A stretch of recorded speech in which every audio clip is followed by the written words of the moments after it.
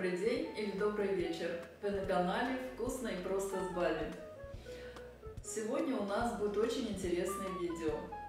Вот, я раздобыла икру сазанью и решила показать, как и что можно сделать из этого продукта. Делается это очень быстро, будет очень вкусно. Нам нужна икра, лук, одна луковица всего, зелень кинза, чеснок, кориандр молотый, красный перец острокаенский, черный перец и соль. Это все продукты, которые нужно для того, чтобы приготовить эту вкуснятину. Начнем. Здесь у меня 500 грамм икры. Икра свежая. Пленку я удалила как могла, а остатки очень легко удалятся после того, как это все хорошо просолится. Для начала нам нужно посолить. Вот одну чайную ложечку соли. Все это хорошо перемешаем. Несмотря на то, что это очень простое блюдо, ну, готовится в смысле очень просто, но нужно время. Вот так мы посолим и оставим до утра. Сейчас вечер, вот за ночь хорошо просолится, и тогда можно будет дальше ее заправить. А заправляем мы всего вот этими специями. Видите, вот посолила только, уже вот эти вот пленочки, они выделяются. Завтра их мы очень легко удалимся. Теперь нам нужно ее накрыть пленкой пищевой. Оставляем на кухне до утра. Ну, считаю, может даже в другом помещении, но при комнатной температуре. Все, пока, до завтра. Ну вот, икра постояла ночь и еще чуть. А, вот видите, она поменяла цвет. Стала такая вот, уже стала заквашиваться, потому что в комнате тепло. Вот, вот такая она уже становится рыхлой немножечко.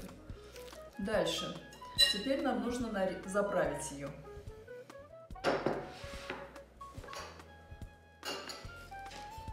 Нарежем лук. Небольшая головка, такая средняя. Режем мелко-мелко, как можно мельче.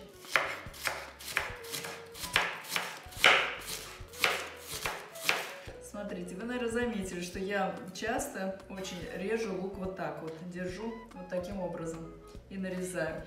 Тогда весь лук получается вот одной толщины. Видите? Иногда бывает салат нужно красиво порезать, например, то тогда вот так вот лучше резать вот таким образом. Держать вот так лук. Большой палец на обратной стороне.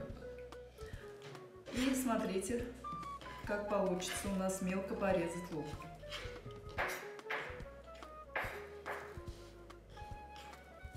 Собираем вот так в кучку, в пучок и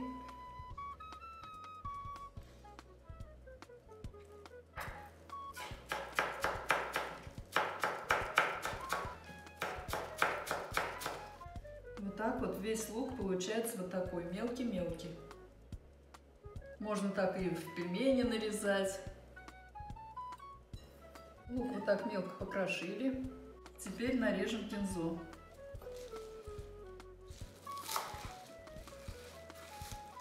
Тоже режьте мелко.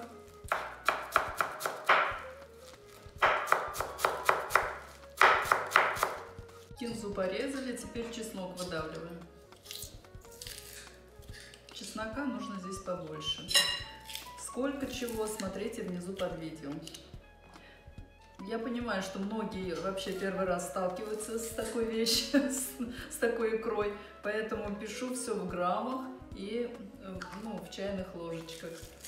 Хорошо было бы, если вы в первый раз сделали бы все точно-точно по рецепту, кроме перца острого. Черный перец и кориандр кладите именно столько, сколько я написала.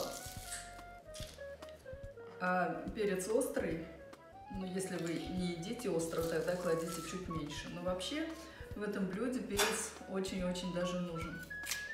Вчера мы положили всего одну чайную ложечку соли на полкило икры, на 500 грамм. Поэтому сейчас тут добавился еще и лук, и зелень, Еще ложечку положу.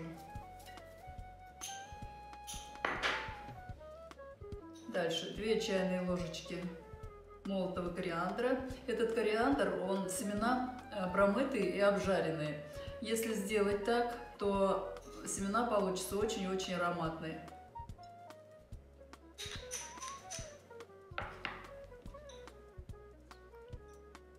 Перца кладу вот такую вот ложечку и еще половинку.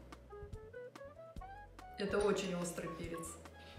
И черного перца пол чайной ложки.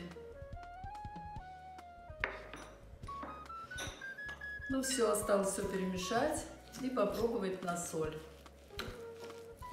Все теперь готово, все хорошо получилось и с солью все нормально.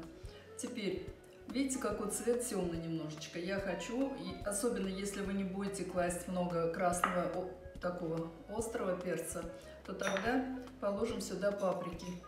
Прям одну ложку с горкой. Когда икра заквасится полностью, вот завтра послезавтра. Ну, завтра уже можно ее есть, потому что вот ее видно, что она вот прям уже забродила, заквасилась. И она будет краснее, как бы икра сварится во всем этом и будет хорошего цвета красного. Ну, на всякий случай я добавила чайную ложечку паприки.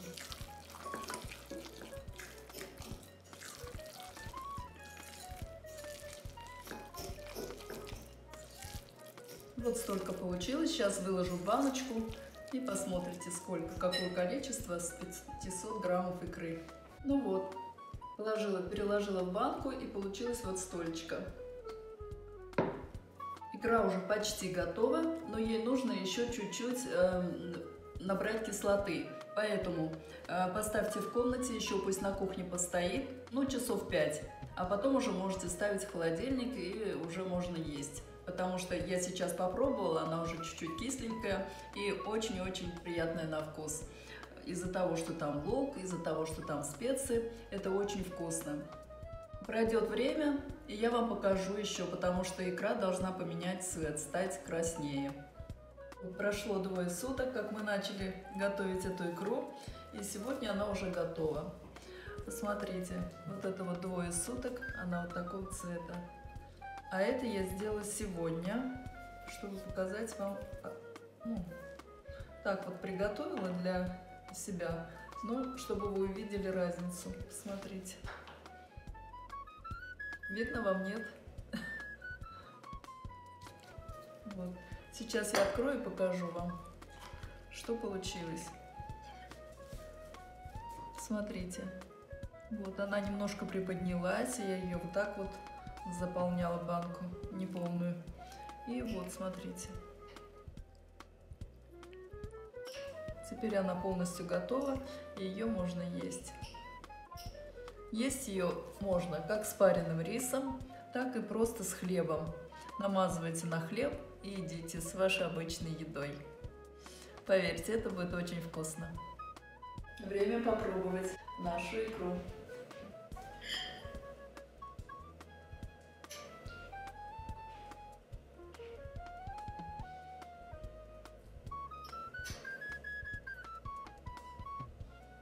Вот так вот намазывайте и едим.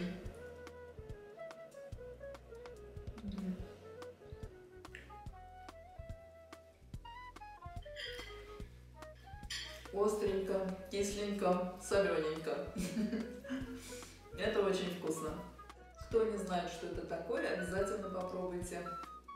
А кто знает, тому напомнила и готовьте тоже такую икру. Делитесь этим рецептом, готовьте. Желаю вам больше таких же рецептов, простых и вкусных. На этом все. Пока.